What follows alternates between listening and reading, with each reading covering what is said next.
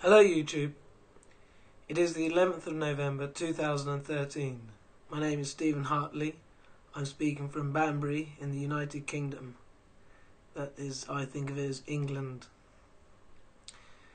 And I want to say something about the way we live and I'm going to state here in this YouTube video an answer to the problem that everyone admits democracy is a load of shit, but that it's the best political system we've had so far. Well, I want to come up with this new way, which you could also say it's an old way, a better way, and we could do it. Right, you know, we could just, we, if we're in a democracy, we could all vote for this thing that I'm going to say, which is basically no rule. And, um, and yeah, it could be really good. It could be, it's the only answer. Quite simply, it is the only answer. okay, you're going to see something on screen which is uh, doodle. It's not do well. It's yeah, it's about half an hour ish, sort of just a bit of a brainstorm, as in truth and lies. And um, well, start with uh, start with a bit of truth.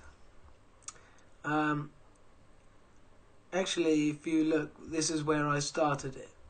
So the first thing I wrote down was weather weirding over on the left there.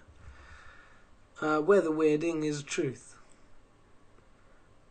I think we can all agree that weather has got weird locally that people talk about it locally. Um, the seasons aren't very well defined anymore. Uh, we get temperature increases and drops of about 20 degrees. So in you know in the middle of winter you can suddenly have a quite a mild period and then boop back to freezing again. Same in the summer. You can have a freezing August as we did a couple of years ago weather weirding on that scale, and then we're seeing records being broken left, right, and centre. Um, that is the truth. I think then I wrote mass animal deaths. This is a truth. It's in photos of many different areas, different types of animals. These mass die offs for some reason, they just all die. That's the truth uh, increased earthquake and volcano activity. That is a truth. And um, very much so lately. I mean, it is. I remember well at school, you know, volcanoes were mainly a thing of the past. There were a few active ones around. Um, but we're just seeing them go chaotic at the moment. They're all pumping off. And this brings me over to the lies. And the first one there I wrote was everything that comes out of the government and mass media. Because it is mostly, if it's not lies, it's things to sidetrack us, just to sort of, oh, it's so boring the what they call the politics, you know, cabinet reshuffle, or you know, and the media would get all hyped up about that. We all get maybe get hyped up about that. You know, it's pathetic. It's like a football team, isn't it? That's what government has become. It's like the two Glasgow versus Rangers. Uh, you know, or the third one coming in, or Man U and Liverpool and Arsenal, and it's it's bollocks. They don't do anything. Better off when they're not there. It would be if they weren't there. it would be so much better. Um, we wouldn't have to be lining their pockets for their future generations, and I'm sure they're all obsessed about how they go down in history. Right. Which, anyway. Okay, and the mass media, you know, they're no bloody good. Um, when did Tomorrow's World end? When did that stop? I know I've said this before, but that must have been, you know, that was a depressing day. Um, or time. But the mass media, you know, they do not report the truth. You know, they haven't discussed these vol- extra vol- you know, ad- additional volcanoes and things. Um, chemtrails, they've never said anything about that. Um, so yeah, they're obviously under the buckles or whatever, so we can't go to them for help leading people like me and lots of others to make YouTube videos. Just you know, you want to just say what you think because no one else is saying it. Well, there are others on YouTube, but you know, you just can't rely on just other people to do it. If you think something, do it yourself as well. Right, so okay, back to the truth. So There we go. Weather modification chemtrails. Okay, I mean, I don't think anyone's still disputing that. You've you can look at pictures and you must have seen with your own eyes, even if you only rarely go outside. Anyway, look, I know most people listening to this are probably already the converted anyway, but you know, just getting it out there. As if maybe someone else would listen to this. Right, um, I'll just read through the rest of them now. Public health worsening, cancer, diabetes, stuff like that. Uh, mass and uh, increase in wars. The truth. I'll wait for that one. Increase in comets and asteroids. I mean, that is a truth as well. Then I got four nice ones here. Before I do those, let's go over to the lies again. Religion. Full of lies the justice system, say in this country, for example, um, you know, they'll be those judges will be aware of crimes that people high up have done, and because it never comes into their court, perhaps, don't have to do anything about it. Uh, we all know it's completely corrupt. Everything's corrupt. So, but I've also put here education.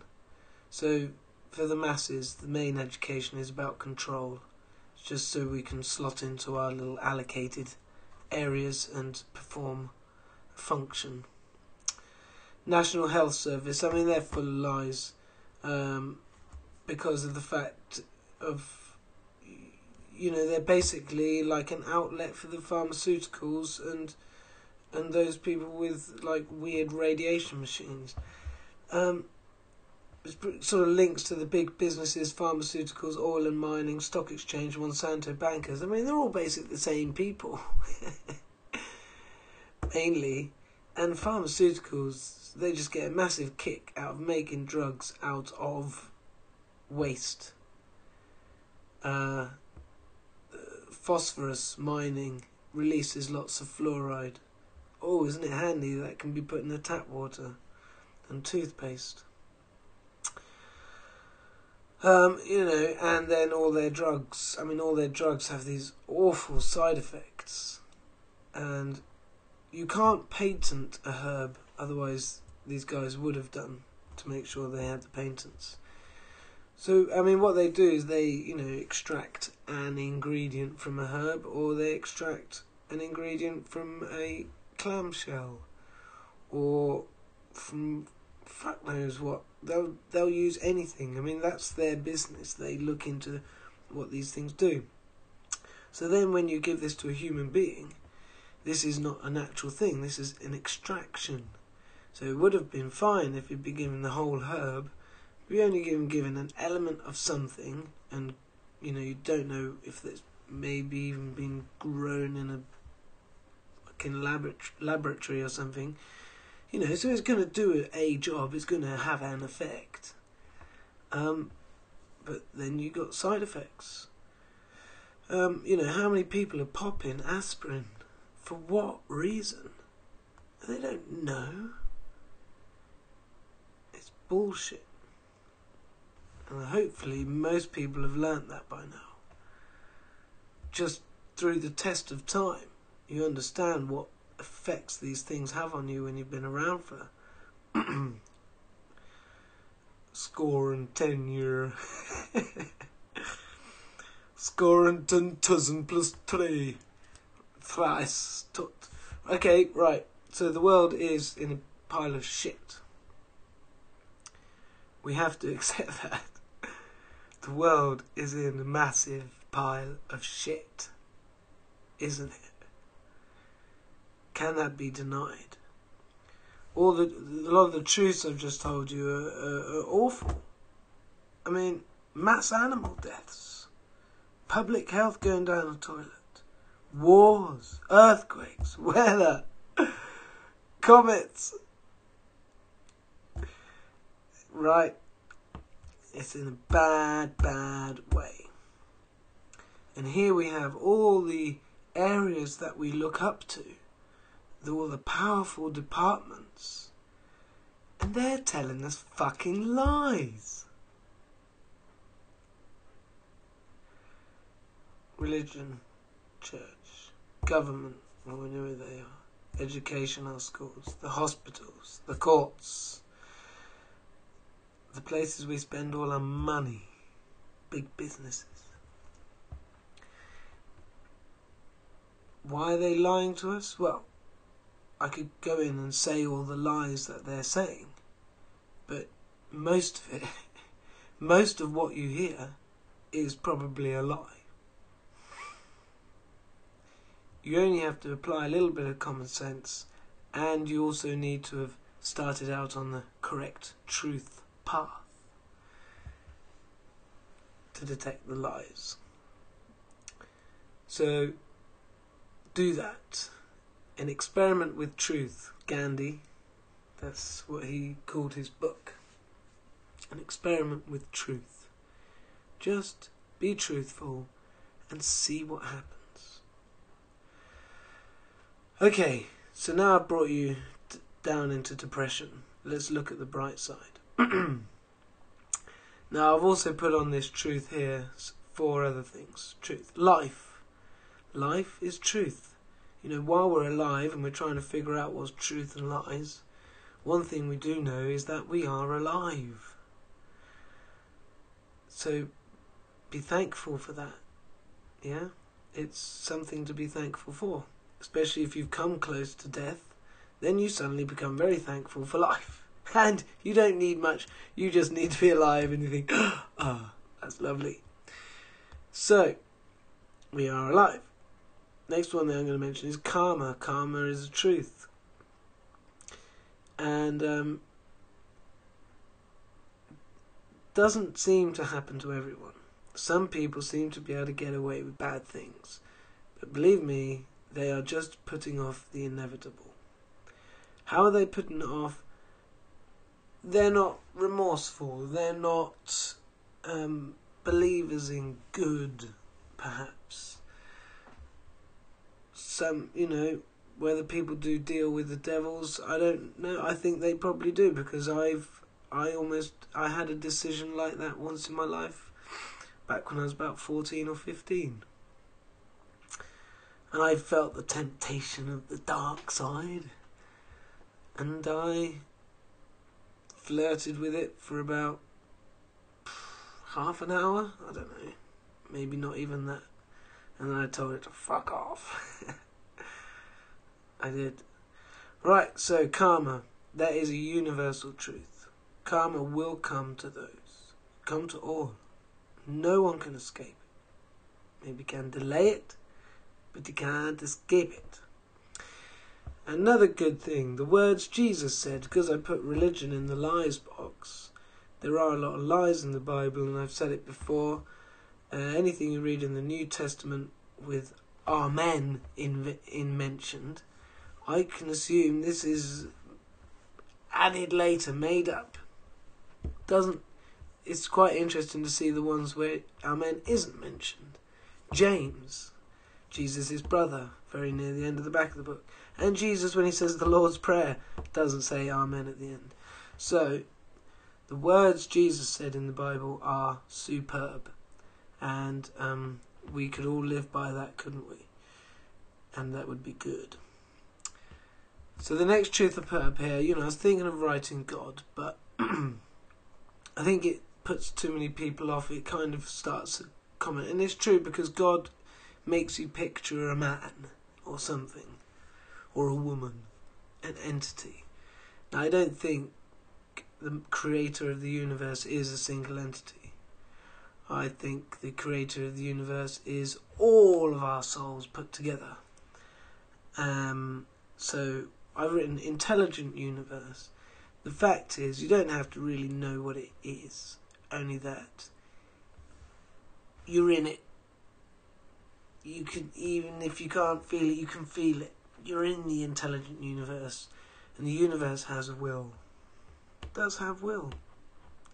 Things happen to you in your daytime. This is God stroke intelligent universe showing you what you need to be shown.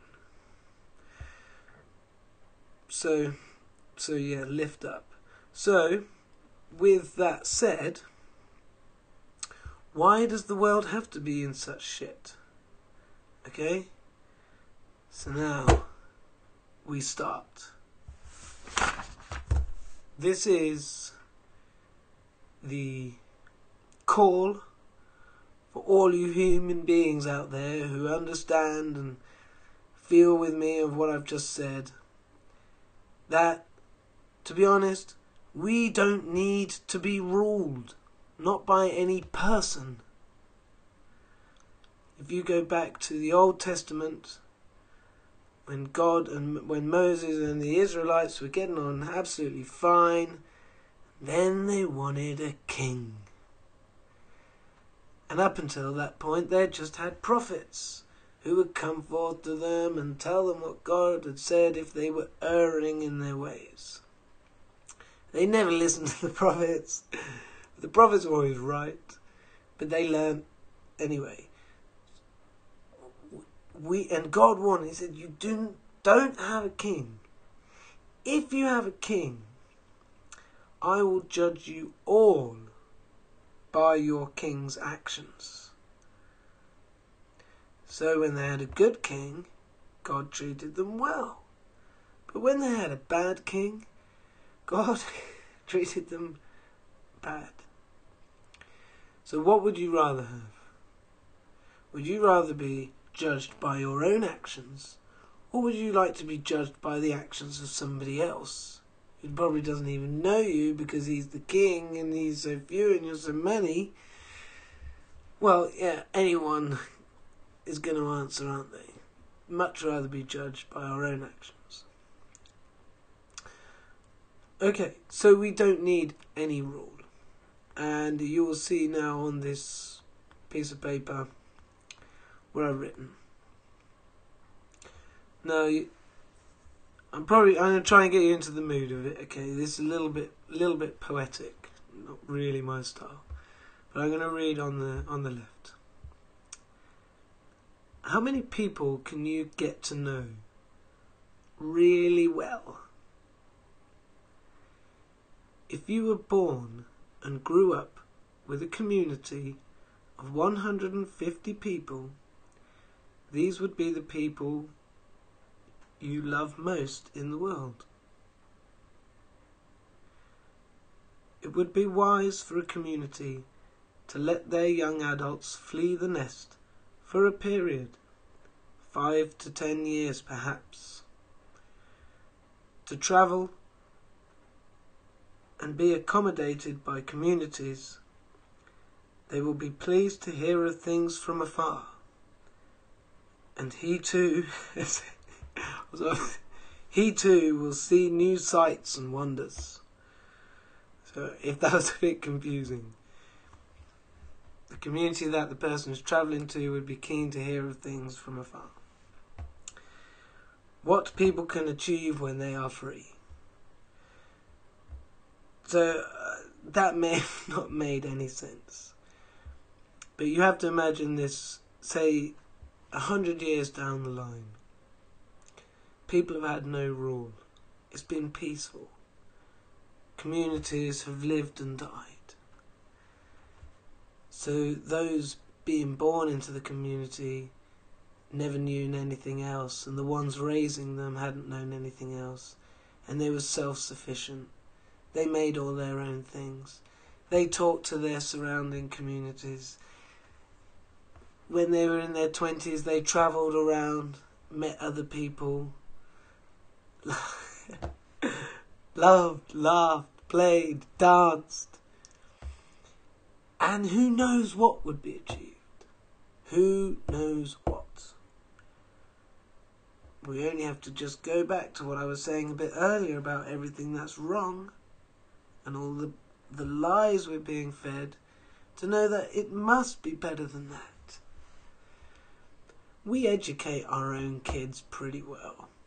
Mothers and fathers, they educate their kids what they feel they need to know. The school stuff. We leave to the school because it takes time to teach them to read. I will help them to read, but to add one, to, you know, I'm happy to teach them that, but the school do that. But I think the reason I'm happy to leave them at school is just because he's with other kids. And that's what I got from school. It was being being with others, you know, learning how to get on in your peers and everything else. Now school can be cruel. And, you know, you can you can have you know, you can have nasty things going on, but in a community, you'd have more adults around. And they'd all be part of the community anyway. So if you remember at school the feeling of being in a classroom of 30 kids that you knew pretty well, it was a pretty good feeling. Compare it to now most people have probably at some point experienced a bit of loneliness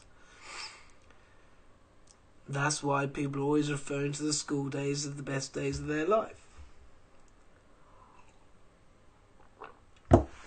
Think on that.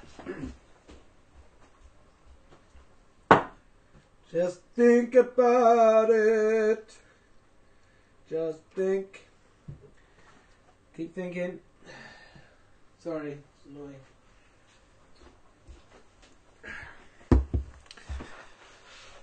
Okay. Right. So um so I've also written on here self-sufficient, which I'll get into in a minute. And um, I've also written there unconquerable. Um, now I've just read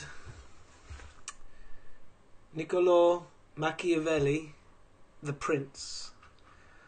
I'm sure it's on the reading list of many Eton boys. they will have read The Prince. You can bloody bet your ass on that. And um, they probably read The Art of War as well, which is also what he wrote. But um, The Prince he never meant actually to be public. It was sent to a high ranking family, I think in Italy or something no, uh,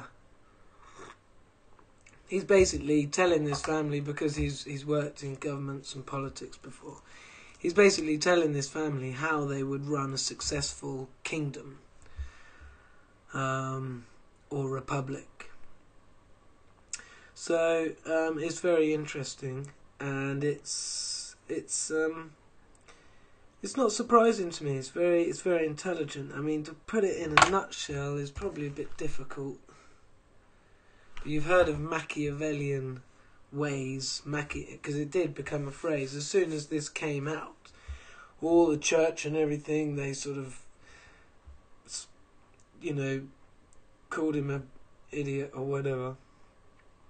Because it's quite sadistic in a sense. Um, I can't I'm not going to just try and put it into words because it's pretty succinct in itself. But let's say it goes through what are the main chapters. I'll just read the chapters. Uh, how many kinds of principalities there are and the way they are acquired. On hereditary principalities, on mixed principalities. Why the kingdom of Darius occupied by Alexander did not rebel against his successors after the death of Alexander. How cities or principalities should be governed that lived by their own laws before they were occupied. See this word occupied. They're talking about occupying places. On new and, and then holding them and um, on new principalities acquired by one's own arms and skill. On new principalities acquired with the arms of others and by fortune. On those who have become princes through wickedness, on the civil principality, how the strength of all principalities should be measured, on ecclesi- ecclesi- ecclesiastical principalities, on the various kinds of troops and mercenary soldiers, on auxiliary, mixed, and citizen shot soldiers, a prince's duty concerning military matters. I mean, none of it's that depressing. I mean, I, I think it's it's sensible, most of it on those things for which men, and particularly princes, are praised or blamed, on generosity and miserliness, on cruelty and mercy, and whether it is better to be loved than to be feared, or the contrary, how a prince should keep his word, on avoiding being despised or hated, on whether fortresses and many things that princes employ every day are useful or harmful, how a prince should act on acquire esteem. I actually haven't read the last few ones. Anyway, that's probably quite boring now.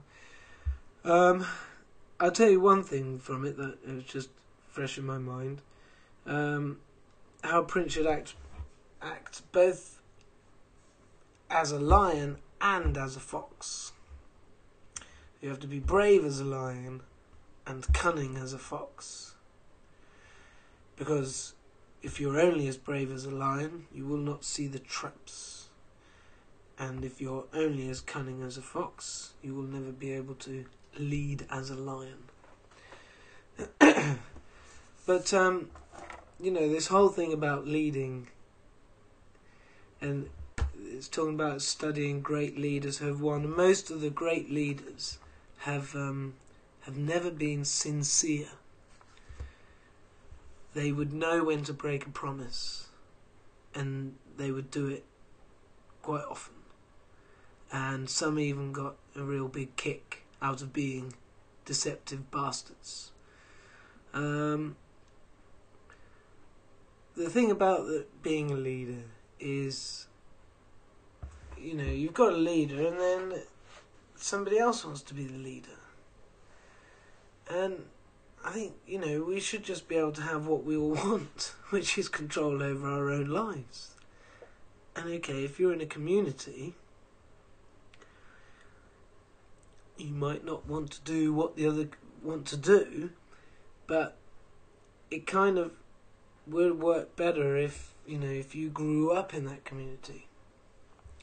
So you know there'd definitely be some teething problems at the beginning, but we all kind of want the same thing, really. You know, we all enjoy companionship. We also need to eat and drink, and we need some sort of shelter from the cold. This is what we need. And I need to see the stars again. Just threw that in there.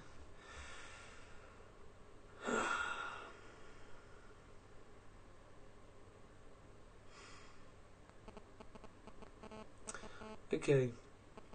Unconquerable. Oh yeah, so why is it unconquerable? Right. Machiavelli when he's saying how to occupy the places, would um, stress this importance on being able to win the people um, because they are many.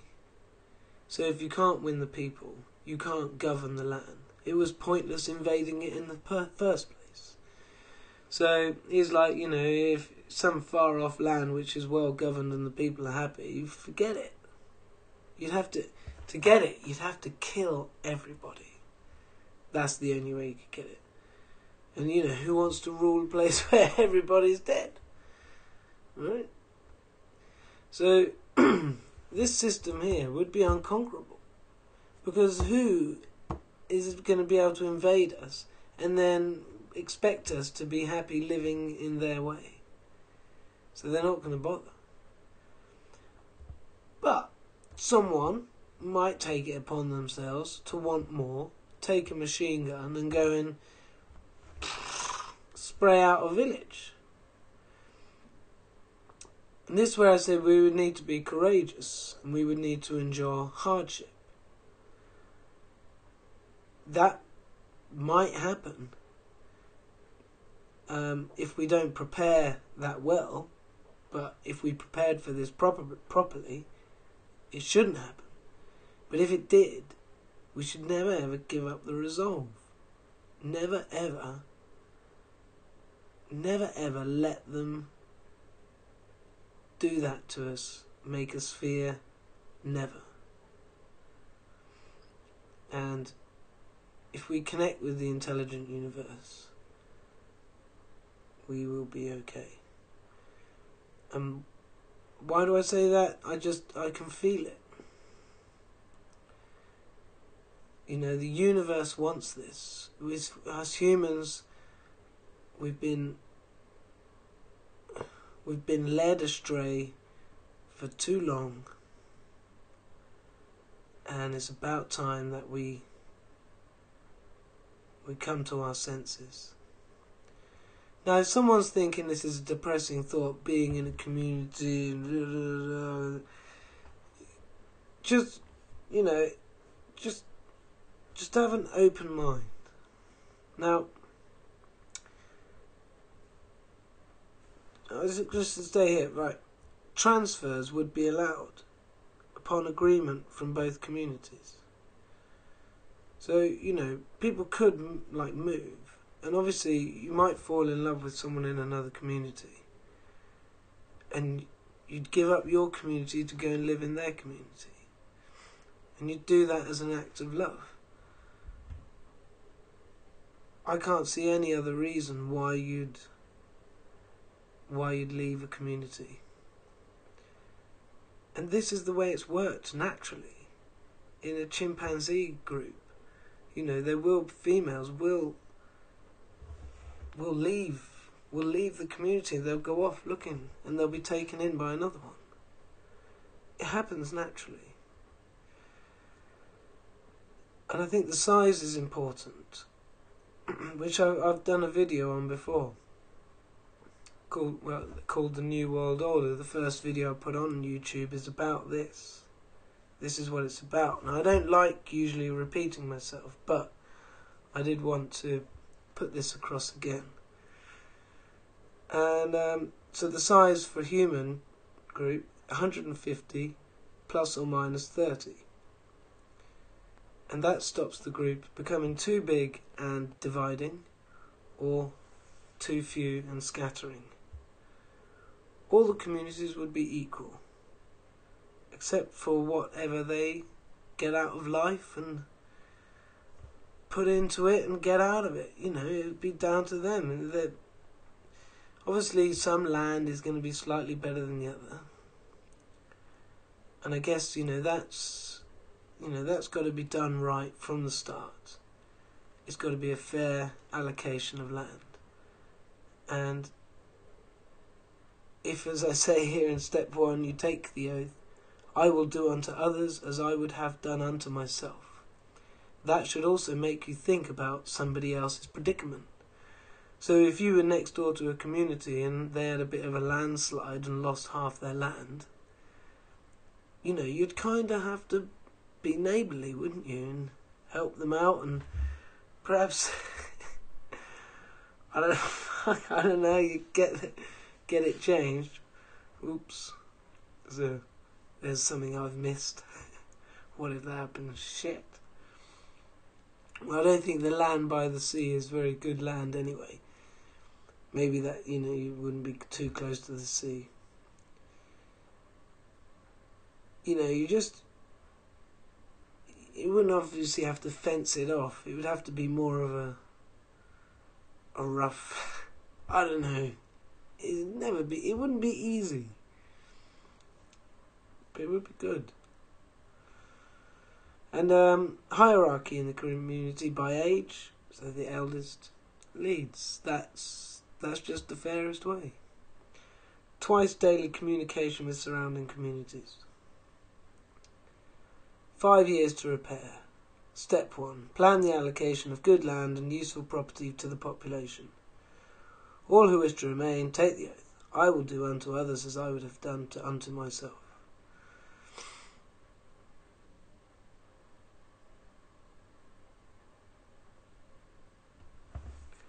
We don't need these leaders pilfering our lives.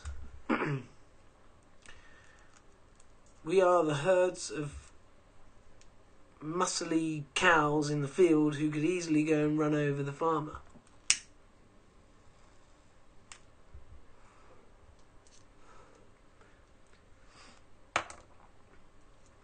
If the farmer was pissing the cows off enough, they'd run him over. But he gives them just enough to keep on. And that's like us. We're being farmed.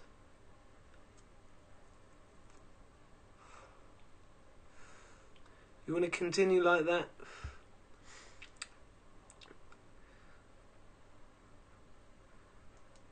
The princes, they stand on the mountains and survey the plains. We, the workers, stand on the plains, work on the plains, gazing at the mountains. Well, I want the freedom to be able to work on the plains and gaze at the mountains, and then walk up the mountains and gaze at the plains. right? We do not need to be herded. We do not need to be led.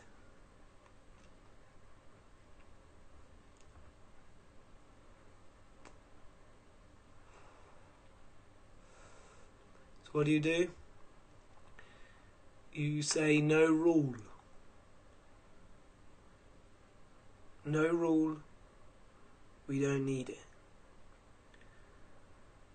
If a political party gets formed under the name No Rule or Anarchy for Us with a proper plan of how to implement it and ensure that all are free and equal, then we take it by the will of the masses.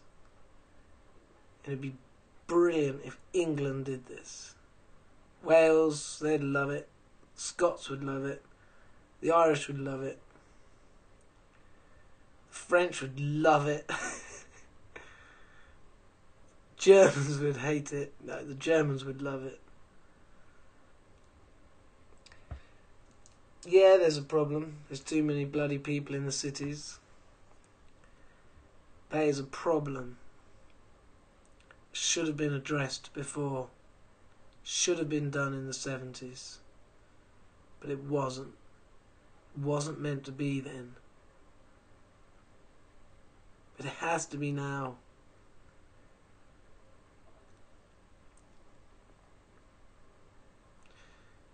No. Or never. Never for the human race. I heard a NASA comment, I think, NASA, even though they're bloody liars the worst ones who tell you a little bit of truth and a little bit of lie. But they uh, they've now said, you know, every star has planets revolving around it. I mean, that's something I've thought on my own years and years ago. I'm sure many others have done too.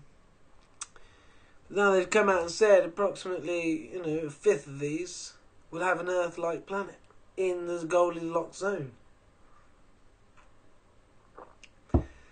So there you go. There's, um, say, just say out of hundred billion stars, say in our own Milky Way, a fifth. So that's twenty billion.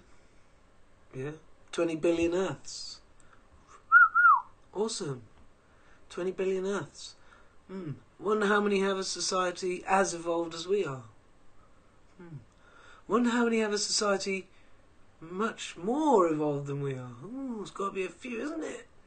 I mean, maybe we are the first. Maybe we are. That's slim. And um, they're probably just waiting for us to sort ourselves out. Well, if it wasn't for that fucking devil having um, nuclear weapons aimed at us to stop them from uh, intervening too much. I'm sure they would have done something to help us. But no, we have to do this on our own. And um, if we did this, would the devil want to fire a nuclear weapon on us? Yeah, probably. But can we can we let him control us through that sort of fear? No. So let's do it, people. Come on, what's your face? Um, Brand, Russell Brand, you can start this off. I'll help you out with some of the details. If you get stuck, but your face is famous enough, you can do it. Let's get this thing going. Right? Love ya. Bye.